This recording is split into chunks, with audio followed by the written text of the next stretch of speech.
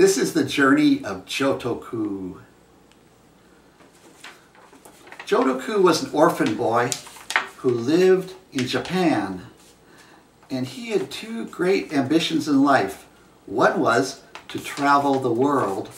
The other was to be a great origami folder.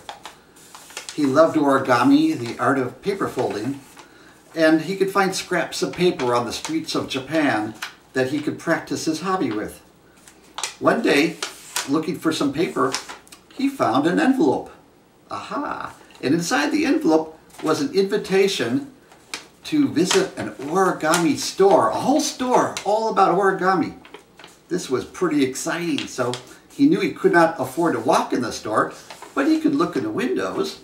And he did. He found the store, and he looked in the windows. He saw all kinds of books on origami, all kinds of special papers and foils, things that would make origami a pleasure to fold. And he was enraptured with the sight. But suddenly, an old man with gnarly skin and a scary demeanor looked at him through the window, and he jumped back, and the old man waved him in. He said, Come in, come in, I want to tell you your fortune. And so the boy walked in because he wanted to see what was inside that store more than he was afraid of that man. So he walked in, and the old man pulled out his fortune teller. And we open up the fortune teller. You've seen these before? And the old man said to him, You have a lucky face. I want to tell you your fortune. What's your name? Joto-Ku, said the boy. J-O-T-O-K-U. And your favorite color, blue for the color of the ocean, B-L-U-E. And of these numbers, pick a number. Seven, said the boy, for the seven seas. And the old man told him his fortune and said, Ah, you've a very interesting fortune, Joto-Ku. You will turn into a seagull for one year and travel the seas of the, of the world and learn the ways of the seas and the ways of ships. And with that, the boy began to shrink and grow feathers and he fell out of his, his robes and he became a seagull. And he flew around the shop and the old man said, I will see you in one year when the spell runs off. And out he goes through the window.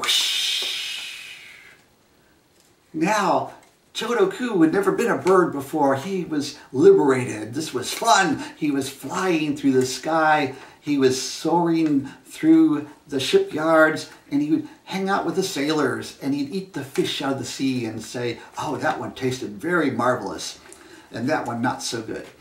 And he had a great time as, as, a, as a bird and he learned a lot about the ways of the sea and the world. He traveled the world until one day he was over the River Thames in England when his feathers fell off and he, he turned into a boy as he plunged down into the water, to the oily, cold water of the Thames. And here he is, he a, can't swim. He can't swim. There goes one arm. Up, there goes the other arm.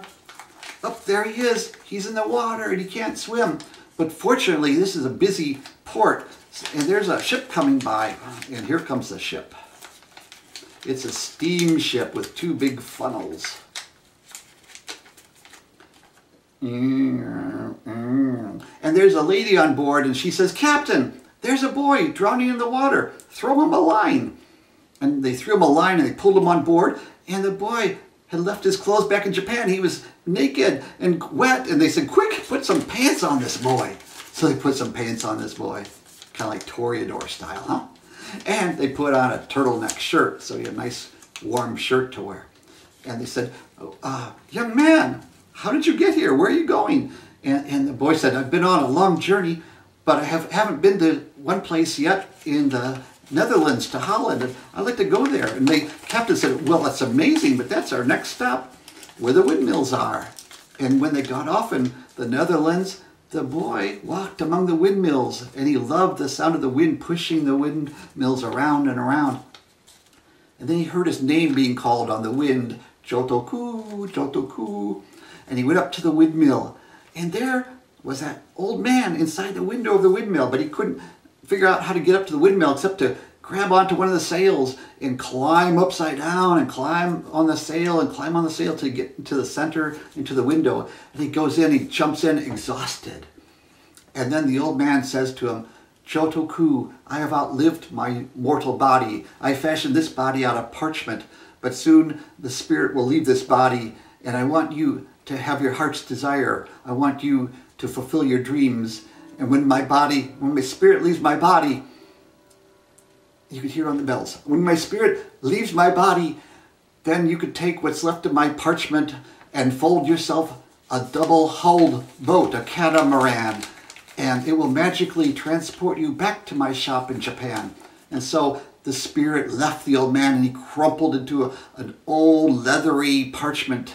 And the boy took that and he fashioned this double-hulled boat, a catamaran, put one foot on one side, one foot on the other side, and the mist came up and he felt like he was sailing through the mist.